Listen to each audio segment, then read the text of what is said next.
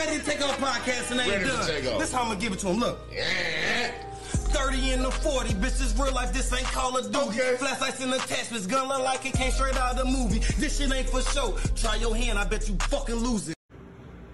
It's your boy Jimbo underscore K-U-T-Z 910 at the extra underscore. And I have a special guest in the building, Miss Juicy Ma. Juicy, how you doing? Yo, I'm feeling good. I'm having a great day. How you doing? I'm good, I'm good. Look, I know we had a little mix up. We finally end up getting an interview together. So I appreciate your time and I appreciate you pulling up. And uh let's get straight into it. 144k views on Flip That Switch Freestyle. Yikes. Yes. Yeah, man. Um, I'm just blessed. That's all I can say. Um, I actually recorded that track two years ago. Um, it was my first video, like music video period. Um, it was actually the day before I got out of the military. I used to be in the military. I'm a veteran, so um, yeah, that was like I know this is what I want to do. I mean, I'm doing music since I was a kid, basically. But um, I would just go like to the studio in between work hours. But then once I got like all the time, like now having the luxury of being retired, um, I'm taking it serious. So that was just me like, ah, let me shoot a video. Let me see if the people like me. I shot it. It did well and it climbed a little bit. Um, but I was just thinking like, okay, why is it not doing well? Like I, I love this song, you know what I'm saying? But that's how I had to get into the business and learn about marketing and learn about pushing the song and that you can't just make a track and put it out there and think it's gonna work for itself. Like you gotta do the work. But I don't know what happened. One day, um, I was coming back from a trip from Atlanta and I was checking my YouTube and I noticed that it was almost gonna hit 10K and I only had like a thousand views on YouTube for the longest, like a whole year straight. And I'm like, what in the world happened? You know what I'm saying? Like I'm lit. So I'm like, yeah, I make my post. Like, dang y'all. I was getting kind of weary, but here we are. It's going up. It's that time. Right. And then when it started shooting up like by each 10,000 views, like I would post, okay, 10, 20, 30. Like I'm like, wow, 40, 50. Uh, this is crazy. I was just like, wow, I don't know what this means to be honest. right now, I'm still like, I'm still getting the kinks of the business, to be honest. You know what I'm saying? And I encourage other artists to find out like where your beat is coming from. If you're getting, if you're not getting custom made, like make sure you own the rights to it. Make sure you have your stuff all the way together, your BMI, your copyrights, and all these things. Because Yikes is um, Nicki Minaj's song for the people that does not that do not know. Um, she is one of my rap inspirations um, in the industry, and um, yeah, I just I love her music. I love her style. I love the rap, so I was like, let me do a stab at her beat. Um, and yeah, that's all it was. So look, usually when people come on, I be the one asking all the questions. I love the energy right now because Right. you talking to me and you giving me everything that I really need. So like, yeah, that's very good. So um, you said it was kind of like your little side thing. You was full time in the military. Right. Um, when do you say you first started actually rapping to begin with? Um, I don't know exactly, you know. I just know by the time I was 10 or 11 years old, you know, I'm full blown making raps. It wasn't really making too much sense. I mean, just the stuff I like, like literally Skittles. I remember some line that I came up with, like, Skittles is kind of like the kid Patron. Never had liquor a day in my life, not even really knowing what I'm saying. I'm just seeing the adults in my life loving this Patron item. So I'm like, well, I like Skittles, I like candy, you know what I'm saying? So, yeah, let me tell y'all how the kids get down. And then just as I grew, it changed with what I like and what I like to listen to, you know? So, So yeah. look, you 10 and 11 and you rapping about Skittles and Patron? Yes, um, really it came from like watching my older cousin and my older brother. Um, my family kind of did music around me growing up, and was man, let me in, let me in the booth. I want to make a song. I Did you make did you spit that uh that verse to any of the adults? And what did they say about it?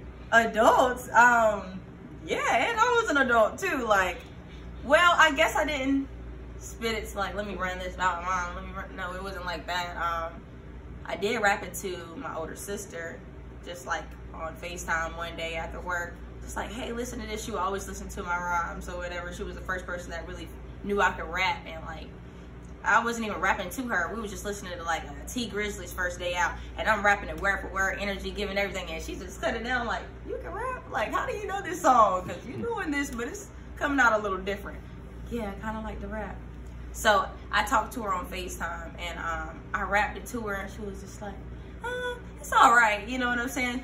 Not saying that she wasn't feeling it. It's just like, when you don't hear yourself after it's all together, you're just right, rapping over a beat. It's like, you're not going to catch the things like the ad libs and the little things that make it pop. Yeah. Really the magic that the engineer makes, you know, in the studio. So after hearing it for the, everybody heard it for the first time. Basically, um, I got home, so everybody was hyped for me, for me being home once I'm home, I was gone for like two years.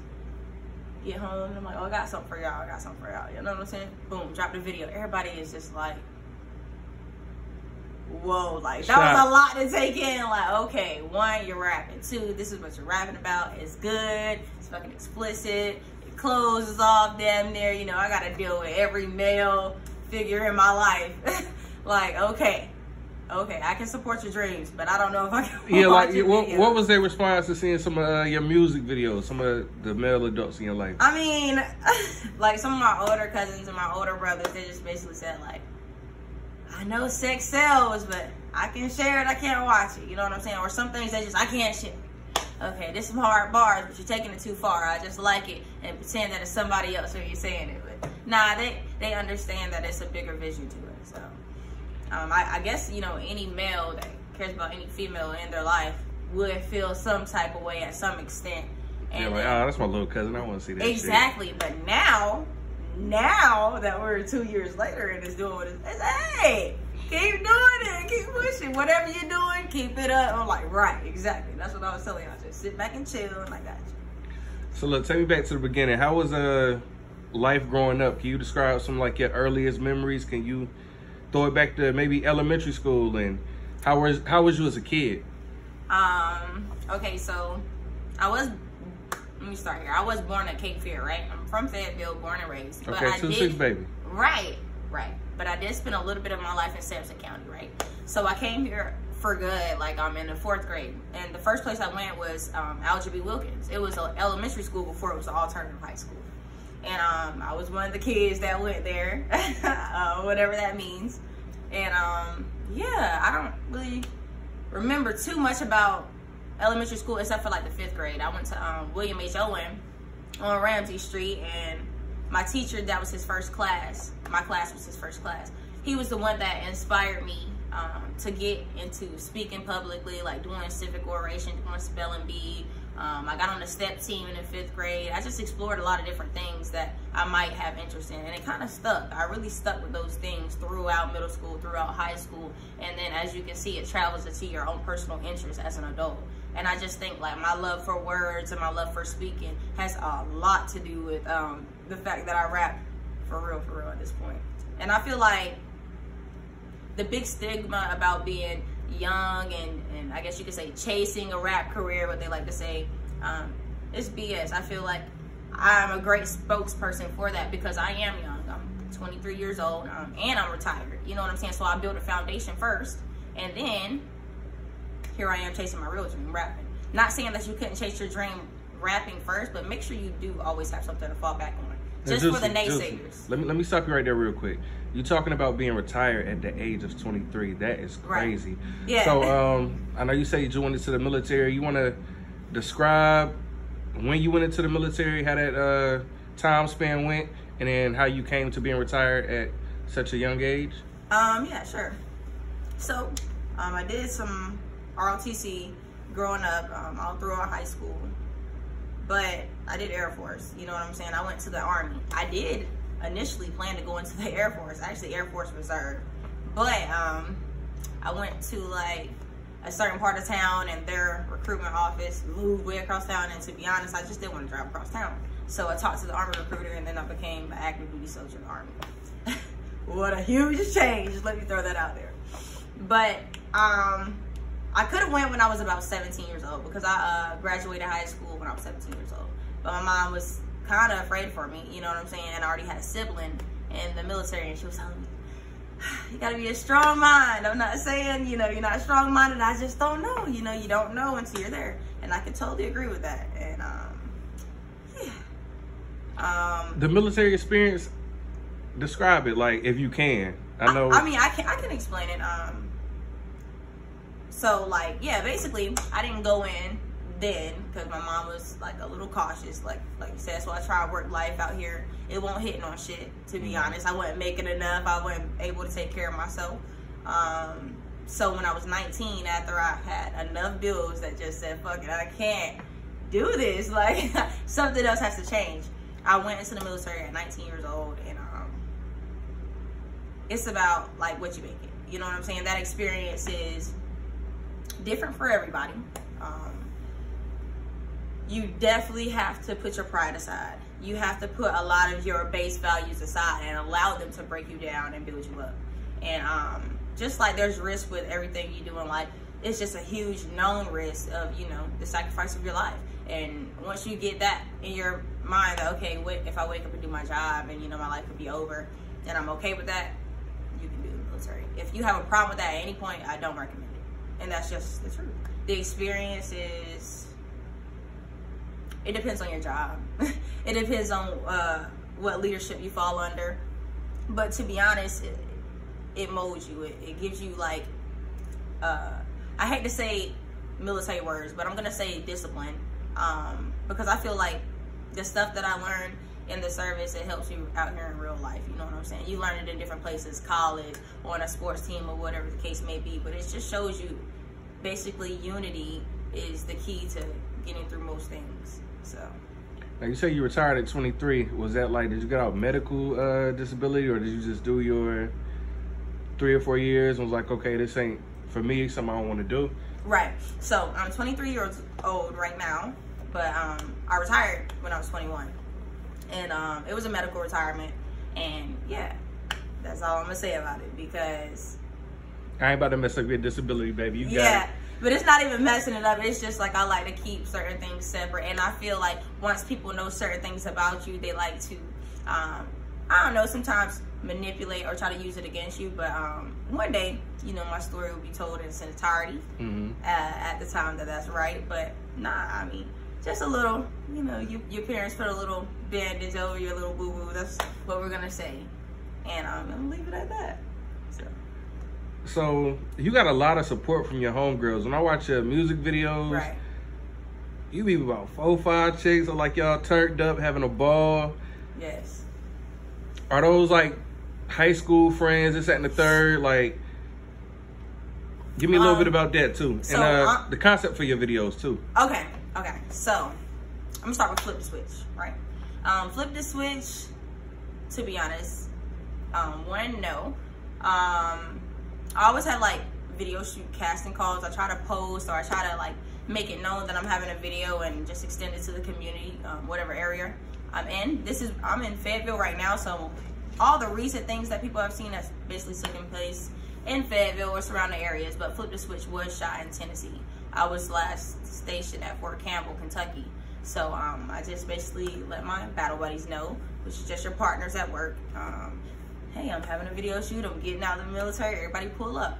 It was gonna be way bigger than what it was, but um, COVID just started, so I only had to let one person in. So I actually have myself in the video, um, my two blood cousins, and um, my best friend in the military. And there was one girl that I didn't know, and she was the one in the red. But now um, I consider her a friend, and she's an awesome, dope video vixen. Um, and yeah, we met that day, and it was straight off vibes. It's kind of a funny story. Um, she had her outfit on, and originally she had like uh, the red bandana pants that go with her whole outfit. And in the video, you notice she doesn't have pants on. It's just like uh, the bikini bottoms. And I told her at the door, like everybody else had to get sent home because of COVID. I said, if you take your pants off, then you're in the video. and she took her pants off right at the door, and that's how I was like, yeah, this shit finna be lit. And that's how that happened. Um, my last recent video, um, which was a freestyle, the, the fuck nigga free uh, freestyle by Glorilla, shout out to her. Yeah, shout out Big Glow. okay, Big Glow, y'all know what the hell going Y'all know what the fuck going on. Um, I did a collab with a couple of artists here, um, local in the city. And um, yeah, basically it's all about networking. We shared a lot of time in the same spaces, studio, working in different places.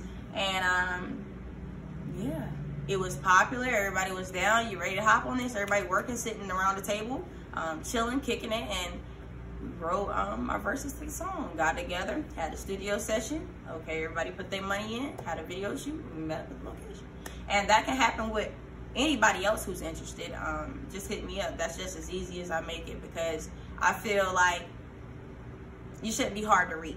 You know what I'm saying? Some people try to be hard to reach or they try to be Hollywood. Hollywood. That's the word.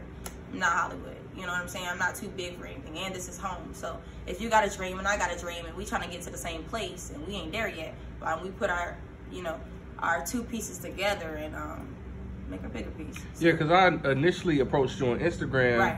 and I told you, hey, I want to do an interview with Right. you. You hit me back, timely fashion. We chopped it up. He wasn't rude about anything. Right. It was like, yeah, we can get together and get it set up and get the interview knocked out. And I was like, dang, okay. She's making a lot of noise, but she still seems to be humble. So Right. shout out to you for that one. Thank you. I really appreciate it. Um, try to remain humble, you know what I'm saying? And sometimes people can take your kindness for weakness. And I, you know, we all experience it. But I just learned that, you know, take a step back, you know, and reevaluate the situation and try not to think too hard into it. Make sure you keep your platforms for what they're supposed to be used for uh, promotion, marketing, um, showcasing your brand, showcasing your talent, whatever that is, and try to just keep all the personal stuff separate. Um, if you notice somebody just became a new hater, hey, congratulations to you. Like, I hope I have 3 1 by next week. And um, if you're a part of that, then um, join the team.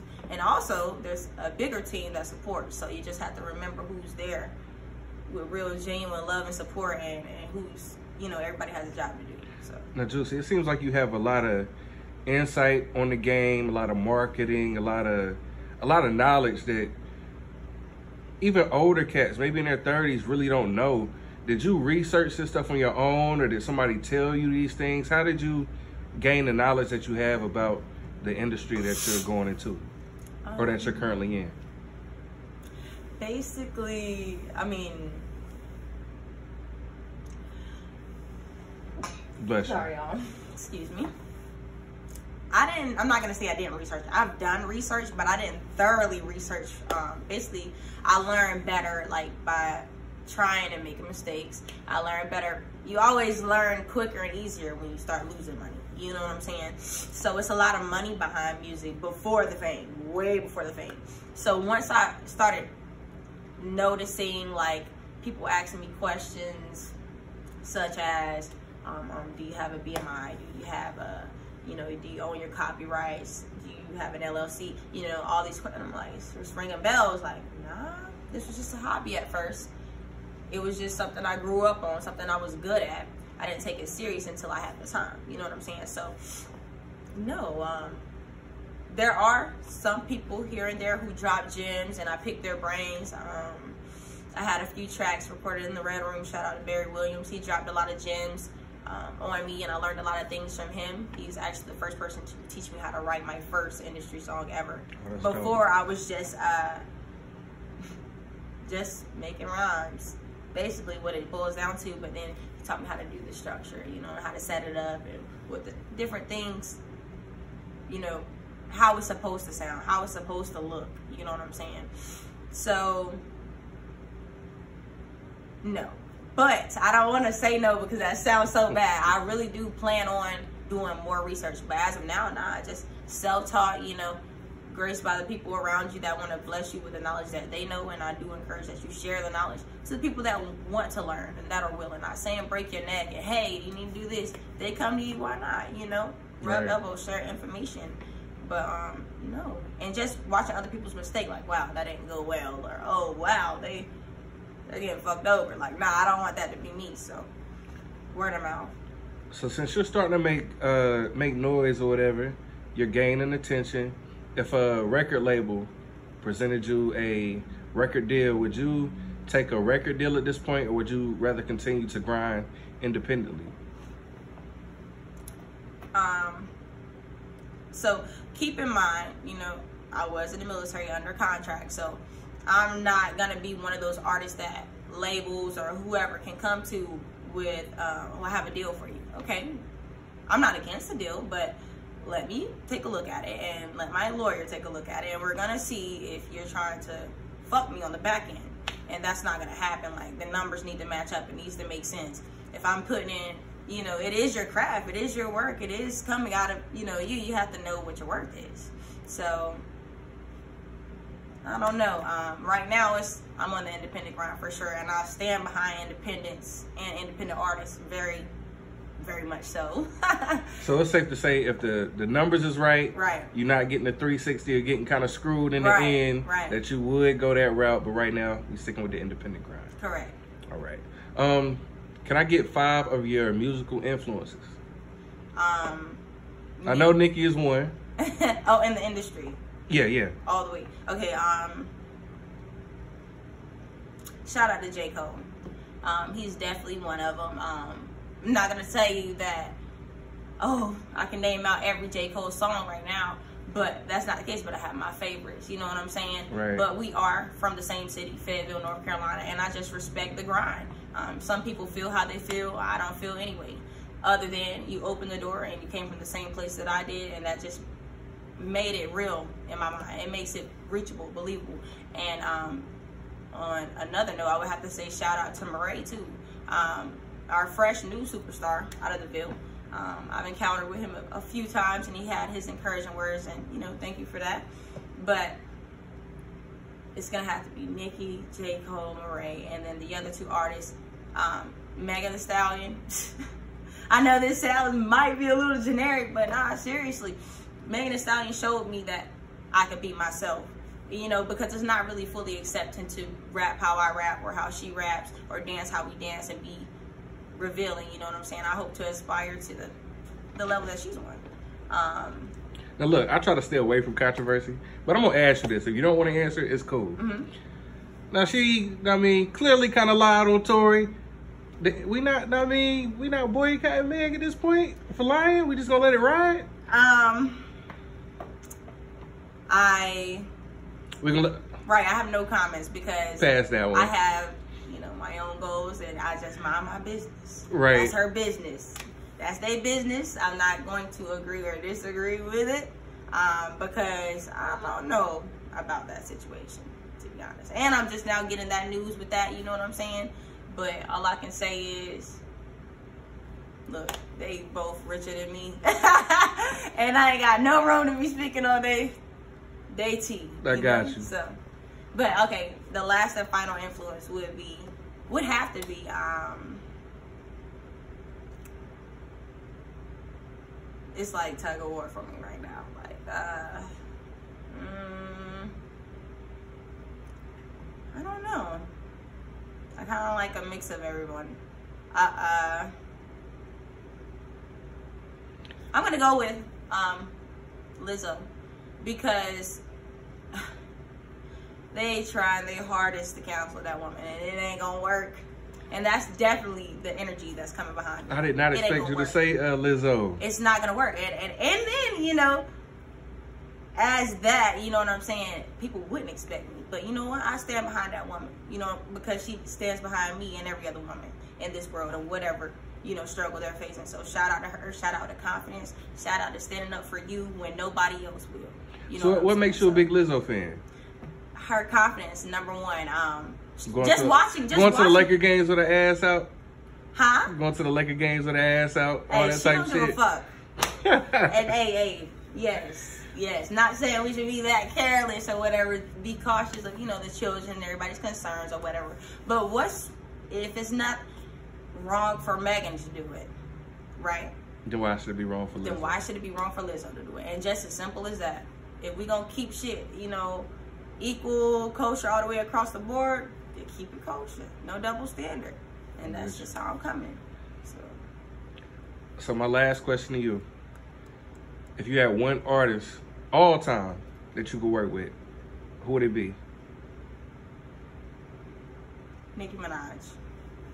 We going Nicki? Yes, for sure. I mean, nah. Uh, her songs was the first songs that I were rapping that's, I mean, I guess you could say like mine, um, to my mom. And it wasn't like too bad. She was just like staring at me, kind of like, she crazy, you know? but nah, she also knew like, nah, she got it. Like, she got it. If it wasn't for my mom, I would have never posted Flip the Switch on YouTube, period. Not saying that, you know, she didn't know about the song specifically. She just said, you need to post your music on YouTube. Shout People are going viral from YouTube, you know. You know, people are getting found from YouTube. So I'm like, all right, mom. Like, okay. Me out of uh, everybody else, like, cool, whatever. I'll, I'll take a stab at it. We'll see what happens. But nah, like, damn, mom. Look- look you at know me what I'm now. saying? Like, you see Yeah, something. shout, shout out to mom. I'm gonna keep going just for that, and as long as I can, and as long as I can, I'm gonna do it. So, Um, where do you see yourself in the next two to three years musically? musically in two to three years. Well, um, I'm turning 24 this year, so I'm gonna go with the larger number, three, meaning about 27 years old. I um, definitely see myself farther in the industry um, and more known. More known. I plan to be a household name. I don't, I'm not sure if that will happen in three years, but hey, never say never. You know what I'm saying? So I just plan to see myself further in the industry and more known. Definitely can happen. So, Juicy Ma, I appreciate your time. Before we get out of here, is there any shout outs you want to give? um, Your homegirls in the car, I know you better give them a shout out. actually, my cousin's in the car. Shout out to my them. ride or die. The uh, girl you seen to the left of me and flipped the switch with a fro. Um, this the first time we've linked up in a while, and that's my road dog. She do everything juicy, straight up number one team juicy. Um, she's currently pregnant right now, so we're excited about that. But I got her out the house, Hey. and yeah, she is in the car. So shout out to Koya, real one. Uh, since diapers, baby. Shout out to my family. Shout out to my mother. You know what I'm saying? Um, shout out to the gang. Um, and just shout out to God, you know, for keeping me straight up. Uh, mental health is real, you know. Check on your strong friends. Check on your weak friends for sure. I mean, people love the scream, check on your strong friends, but the weak ones ain't doing too well either. Like, let's put the pride down and let's uh, lift each other up. So that's where I'm at with it. Um, you can definitely follow me on all social media platforms. What's that IG handle? IG handle. She is dot juicy because she is. You know what I'm saying?